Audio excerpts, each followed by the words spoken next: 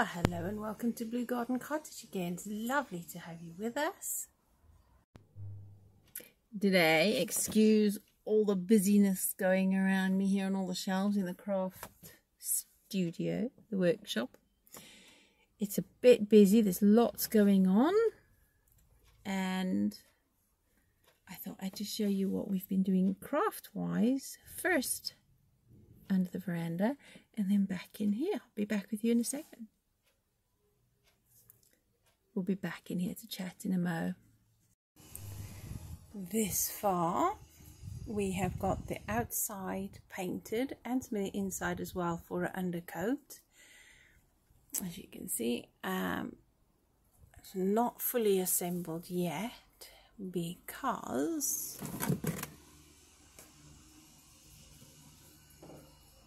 let me show you this. This is the floor the wall, the bottom floor wall goes here. And I've left it open because I need to decorate the walls before I put the next floor on. And this wall is attached to the upper floor. So I um, I'll decorate the wall separately decorate those walls then I'll decorate that side and the other wall. And then um, I've marked where the floor goes, the, the, sorry, the wall, dividing wall, and then we're going to put the flooring on, which is going to be these tongue depressor type sticks. We're going to make flooring out of them. We'll cut the rounded edges off and make floorboards out of them. There's some really nice grain in them, so that will look nice as flooring. I might stain it to look a darker old floor um, and then we'll put the next floor on and do the same thing there with the decoration of the walls and then put the dividing wall and the next floor up for the attic floor. So that's what I'm going to be doing. It's easier just to do it that way because if you put the walls and the floors in it's really awkward to get in and decorate in that small space. But I'm excited to be getting on with that yeah, I have used a wallpaper, a lovely embossed wallpaper for the inside of the ceiling and I've put it on the, the underneath of the floors as well for the downstairs ceiling. Those are the holes where the, the dividing wall goes. Um, so this is for the ceiling as well. So this that done. The ceilings, both ceilings, both floor ceilings are done. And then when I've got all the walls decorated and in, the floors in. Then we'll put the doors on. And this time, instead of these ridiculous small hinges, there's, I know there's three of them there was originally, but they're just not strong enough. I did tell you that. And I got these really long brass hinges they will go in instead and they will take a lot more weight so it'll be more sturdy for the doors. They shouldn't bend so easily. Have also put the wall the wallpaper on the inside of the dormer windows. We still got to finish the inside of the walls. Um, one mistake I made when I put the the wallpaper on the inside is I used the spray adhesive and it got round the other side and onto here. It bled through bled around. Um, so I couldn't get it off. This is the best I could do. So what I'll do instead is I'll put some window boxes there um, with flowers in because that just can't be removed and I can't repaint it because it won't go on the paint won't stick. I've got as much of the the glue off. It's now smooth but it has left markings. So I'm going to have to decorate that I can paint some nice pretty little swirls decorated patterns up there. Window boxes there. I have to tidy up around the edges of the windows.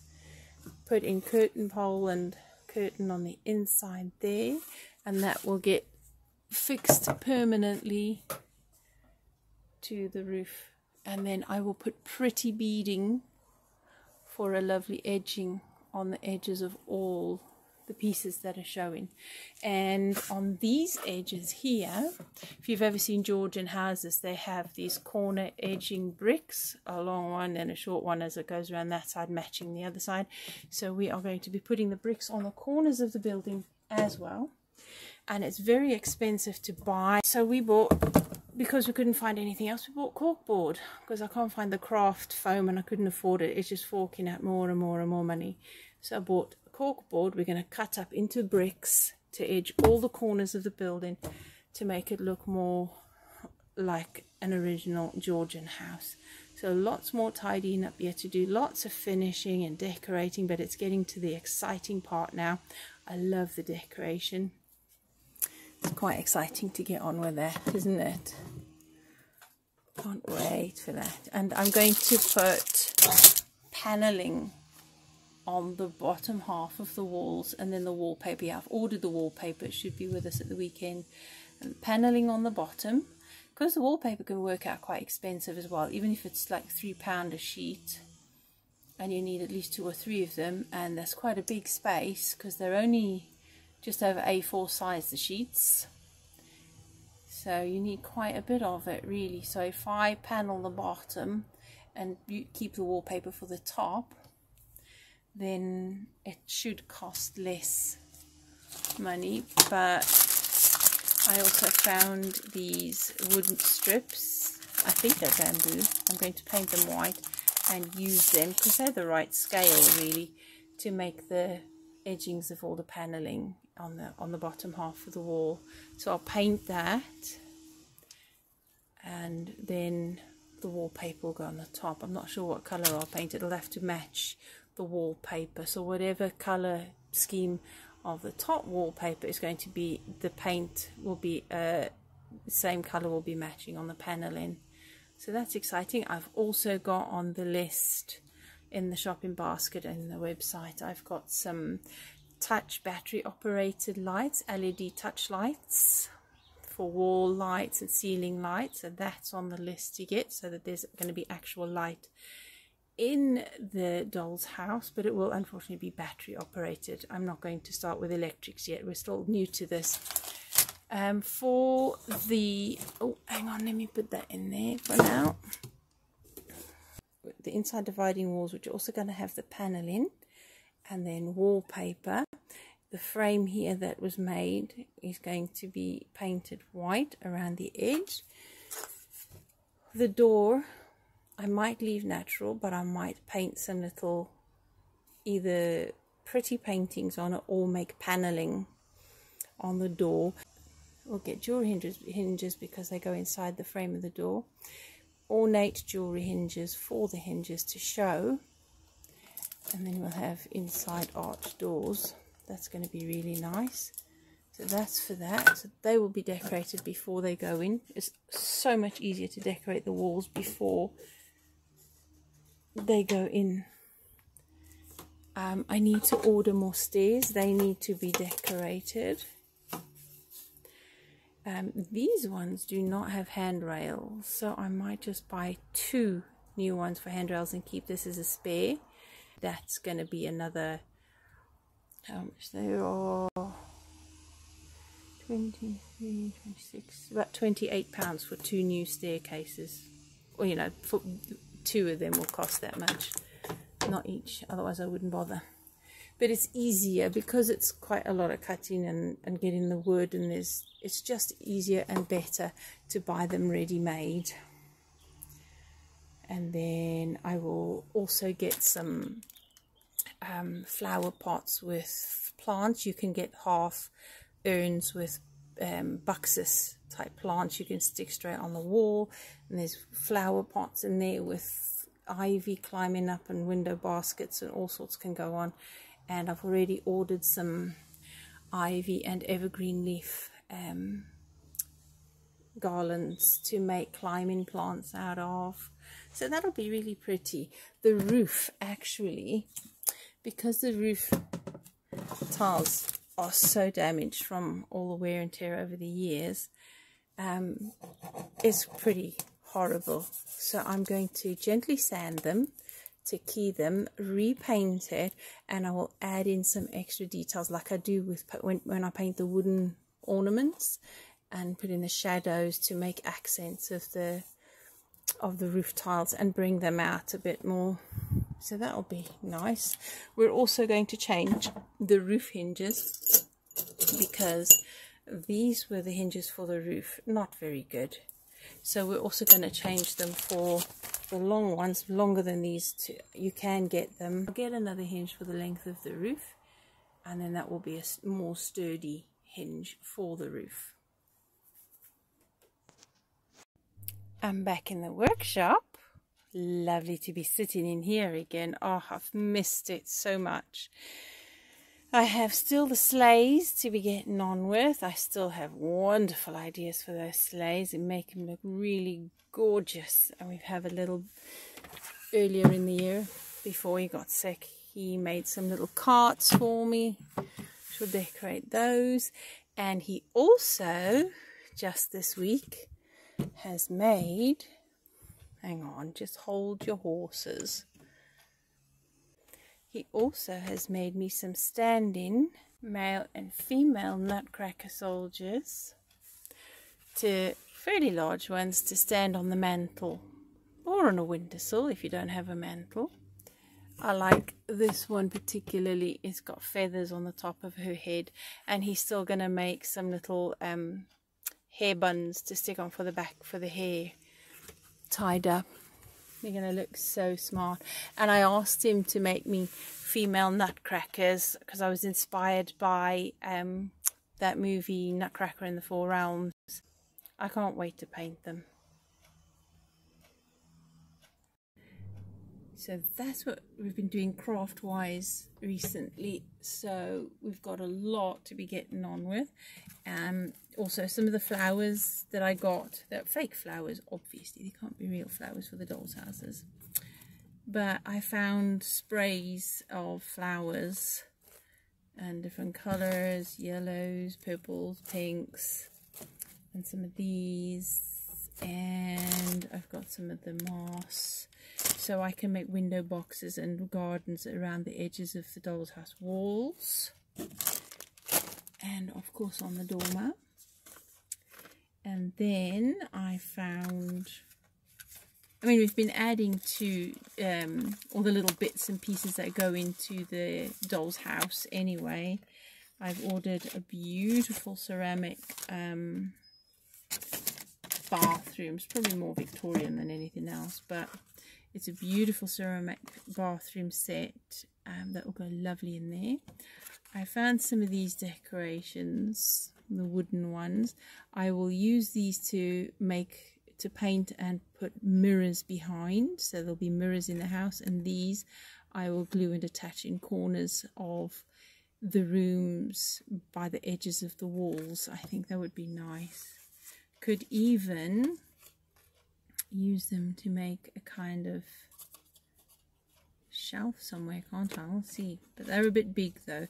But the mirrors are perfect size for the um for the, the, the frames are the perfect size for mirrors. I've also got some doll's house picture frames and I've got all sorts of bits collecting as we go and the old dolls houses are something we do together anyway we, we we have more interactive work together instead of him just making the wooden crafts passing it to me to do all the finishing we actually get to work together on the doll's house which is really nice i love working with him it's really nice to do that so yeah i'm enjoying that bit so I'm quite excited. I can't wait to show you the progress as we're going on. We have to really get a move on now because there's obviously a lot of other stuff I need to do as well.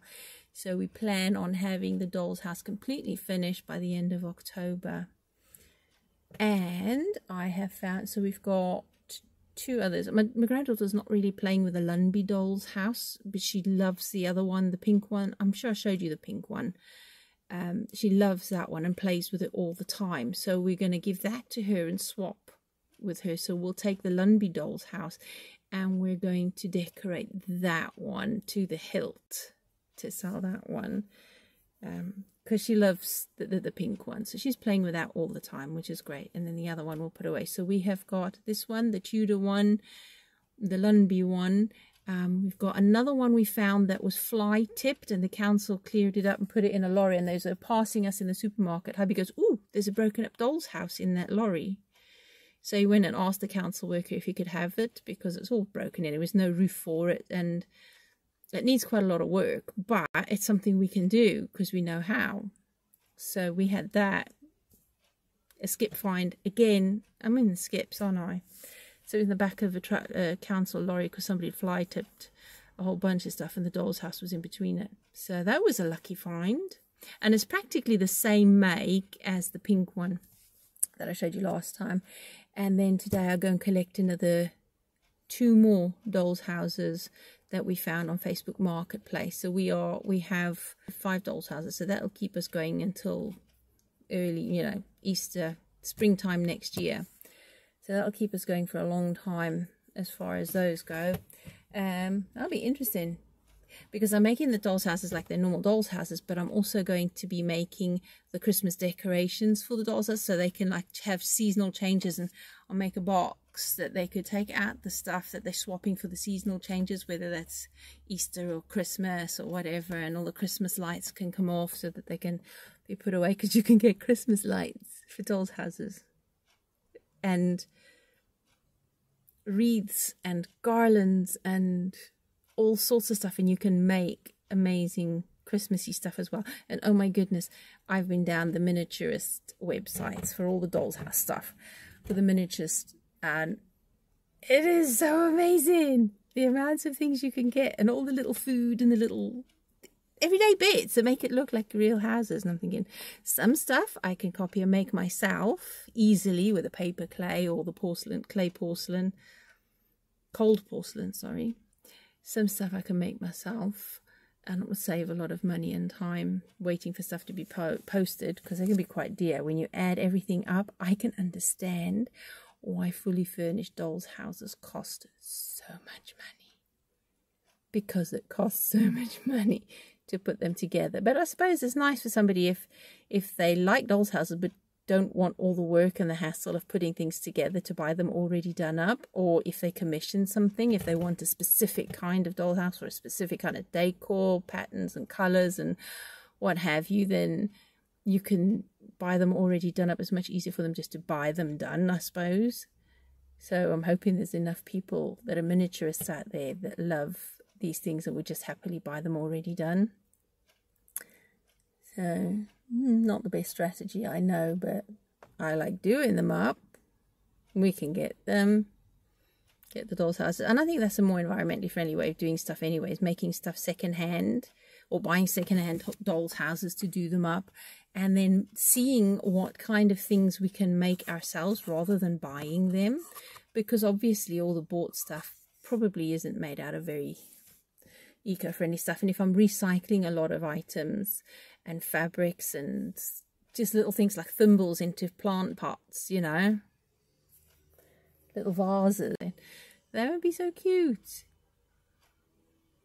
medicine cups, you know, the liquid medicine cups decorated and turned into lampshades, that kind of thing. I've already used sponges, um, fake sponges, obviously, um, to make mattresses for for my granddaughter's doll's house, but I will use wadding instead.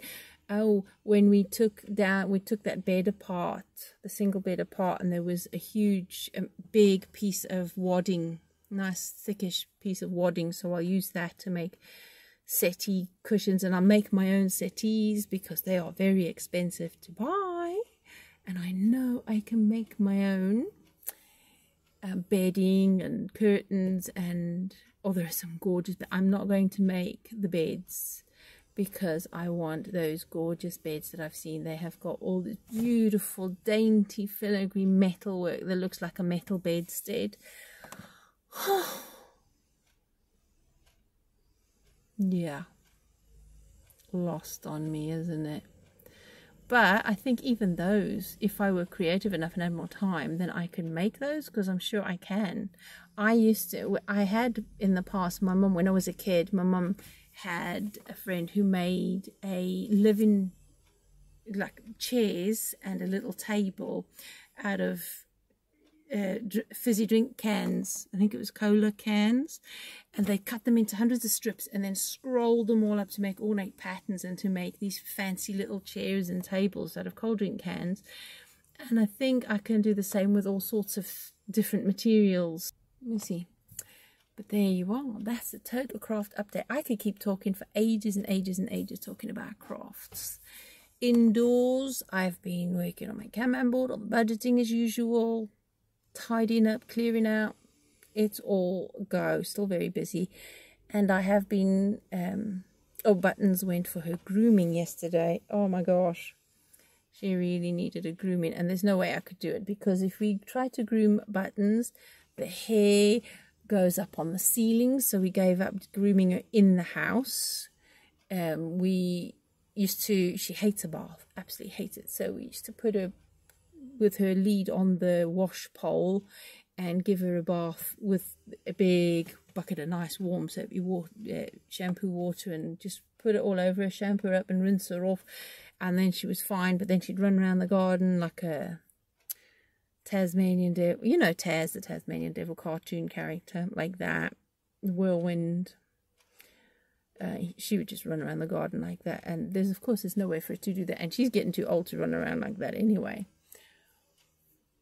So yes, the groomers it had to be, and it's so expensive. Oh my gosh. Yeah, I think we'll keep that to twice a year and just wash her ourselves in between but not in the winter because obviously that's outside, so I won't do it. Not indoors because she's part German Shepherd, the hair just goes everywhere. But yeah, craft wise, that's what we've been doing. That's where we're going. I cannot wait to do a great deal more. So I'm excited to do that. And I shall let you know how we get on with that. All busy. As to the what's coming up, that I've been so secretive about. I shall tell you a bit more about that next week because that is moving on now nicely. So I'll give you a little bit more next week because next week is the Self Reliance Week uh, for videos anyway. So I'll show you what we're doing there. There's so much going on, really is. So to keep up with what's going on here at Blue Garden Cottage, we'll just have to catch up with us next week. Right here on YouTube. Don't forget to like, subscribe, and share if you like. Lovely to have you with us next week again. Do comment if you like. Just keep it family friendly. It's all go. Things are afoot. Okay, people. I gotta go. Lots yet to do. Right, folks. Take care. Stay safe. Say well and I'll speak to you next week. Bye bye, all.